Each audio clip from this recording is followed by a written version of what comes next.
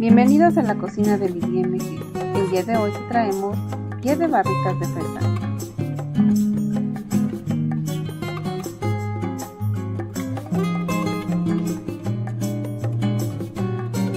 Los ingredientes que vas a necesitar son barritas de fresa cortadas a la mitad, fresas, media lata de leche condensada, media lata de leche evaporada, medio paquete de galletas marías, media barra de mantequilla, media barra de queso crema, 3 cucharadas de grenetina, 12 cucharadas de agua fría y un vasito de yogur griego o natural.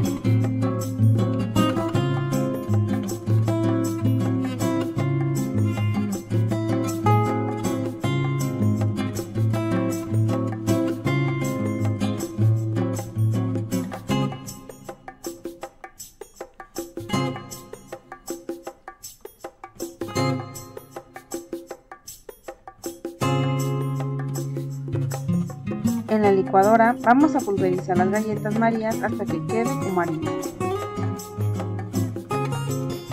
En un molde vamos a poner las barritas de manera vertical y con la cara hacia afuera y vamos a rellenar el molde con la galleta pulverizada.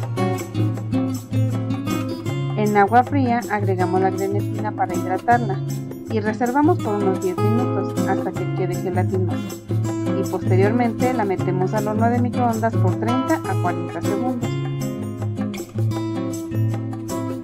Vamos a mezclar la grenetina, la leche condensada, la leche evaporada, la barra de mantequilla, la barra de queso crema y el yogur griego natural y lo vamos a agregar para rellenar el molde.